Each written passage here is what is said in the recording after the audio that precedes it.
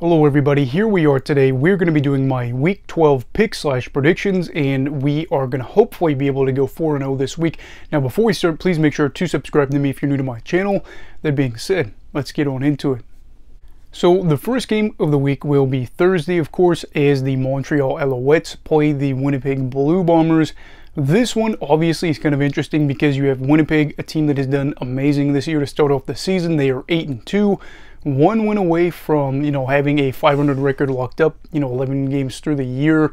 Um, but also two i think coach o'shea would take the lead for most all-time wins as a head coach so there's a lot of things going on there. As for montreal a club that is surging right now a team that is got off to a good start to the year, had a little bit of a bump in the road, and then has continued to kind of keep the momentum rolling and maintain that second spot in the East. So for them, a big boost will be the fact that Cody Fajardo is back in action after missing two games with an injury. He is slated to be ready for this one, and obviously he knows the Winnipeg Blue Bombers pretty darn well with his time in Saskatchewan. Uh, obviously, I know that the offense has struggled a bit for the Owls this season. However, I will say this. Uh, seems apparent at this point that Caleb Evans, while he is a guy you could put out there, I think Fajardo would probably give you a better chance to win with his arm. Evans obviously made a big time effort there in that game against Ottawa to be able to help with the comeback, but at the same time, you know, when it comes to somebody having to throw the ball, who are you going to trust, him or Fajardo? I'm going to go with Fajardo here. Uh, but as for my pick, I'm going to be picking Winnipeg feels kind of like the obvious pick here. Obviously, there could be an upset. Montreal's defense could get some key stops. Their offense could click. Special teams could go in their favor. But for me, with Collaros set to come back from an injury after Dru Brown had been replacing him, I believe he's set to come back from this. Kind of seems to be all lining up for the Bombers to be able to get Coach O'Shea that milestone. If I'm wrong, I'm wrong, but I'm pretty sure that's the case. Anyway, that's the first pick. The second game of the week, we have the Calgary Stampeders taking on the Toronto Argonauts. This one is going to be a fun one because the Stampeders are desperate right now and they are taking on a side in Toronto that obviously is now really motivated to beat them. Last time these two saw each other was in Calgary a couple weeks ago where the Stampeders ended up upsetting the Argonauts and then giving them their first loss, their only loss of the season and this one should be a doozy, at least you're hoping for it. Again, the Stampeders are in a spot with the Rough Riders playing better and getting some wins that you weren't expecting them to, specifically against the Lions. They're now 5 and 5. And while the East is kind of one of those things, you know, where you're not really sure how that's going to finish with Ottawa and Hamilton, Uh, I would not want to lose another game to have to kind of play with their playoff fate. They want to be able to upset the Argonauts again. However, I will say this, Chad Kelly did not play in that whole game, didn't even play in a whole half for this one, and I will just say that the Argos really are in a spot where they want to be able to get a little bit of revenge, and they're going to be pretty well healthy. As far as I know, they're coming off of a bye, is their last bye of the season halfway through the year. That is crazy. CFL Central pointed that out, and I don't get how they do the scheduling because that's ridiculous. But coming off that break, Toronto is going to be winning this one, at least in my opinion. The third game of the week, Saturday, will be the Hamilton Tiger Cats traveling to BC to play the Lions. This is a game that you're thinking BC should be able to win, but obviously they were supposed to beat Saskatchewan last week with a third string quarterback in Jake Dolegala. That didn't work out. In fact, the secondary looked like it got cooked a few times. MLS looked really good in that game. And for the Lions, we've seen now a couple times, not a lot, but a few times where their defenses got cooked through the year. And for Hamilton, well, I know their team hasn't performed up to expectations. They've been able to have some big plays this year, and then obviously James Butler gets a return game against the Lions. Butler has been able to break out for some big runs for the Tabbies this year.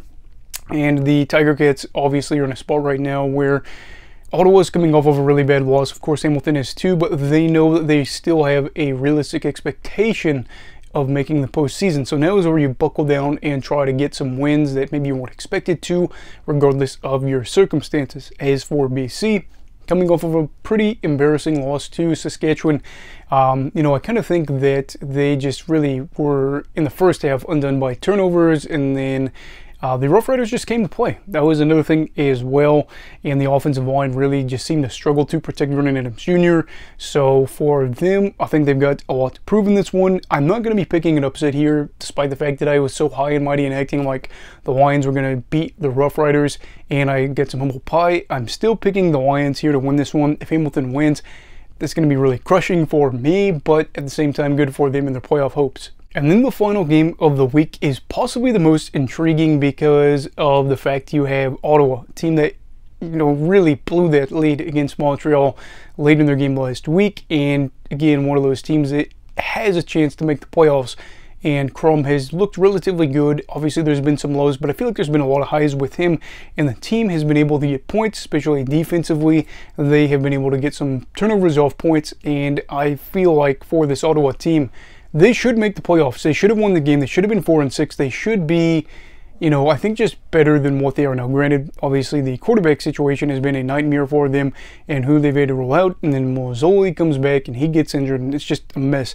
However, they are taking on an Edmonton team in Edmonton that obviously has been a house of horrors for them.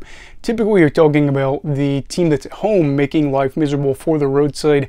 However, for the Elks, they are a club that has not felt at home since 2019, where they picked up their last win, ironically, against the BC Lions.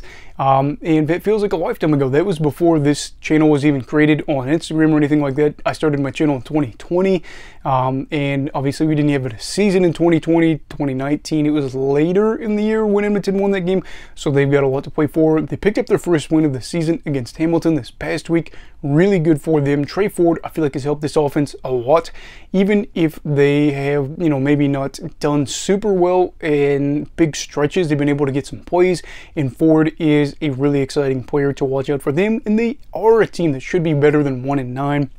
Now we get to see whether or not they're going to be able to pick up their first W home since the 2019 campaign. For this game, I'm going to be picking Edmonton. I know this feels wrong. Ottawa should be the team that wins this.